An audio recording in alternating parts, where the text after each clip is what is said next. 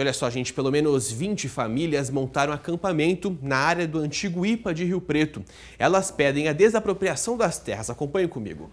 São 20 famílias instaladas na área desde a semana passada. Eles fazem parte da CUT, Central Única dos Trabalhadores. E os barracos foram adaptados nestas construções abandonadas, neste terreno que pertencia ao IPA, o Instituto Penal Agrícola. A área hoje faz parte da Estação Ecológica Ambiental. Aqui será instalado o Parque Tecnológico Campus da Unesp e FATEC. Eles retiraram todo o entulho dos imóveis e improvisaram os barracos.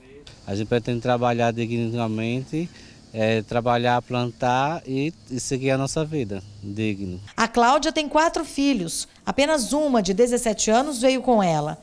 Os outros ficaram em Indiaporã e só virão para cá quando a estrutura dos imóveis estiver um pouco melhor.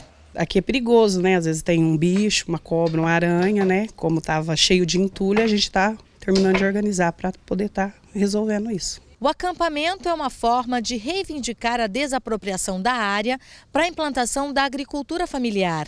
Eles dizem que a terra aqui é boa, mas não está sendo aproveitada. Eles já começaram a plantar verduras e folhagens nos terrenos bem em frente às casas e esperam colher os alimentos para poder vender. Aqui nós já estamos plantando, algo aqui já tem as verduras aqui plantadas no objetivo de colher e está vendendo na cidade aqui, na região e estamos aguardando aqui a terra.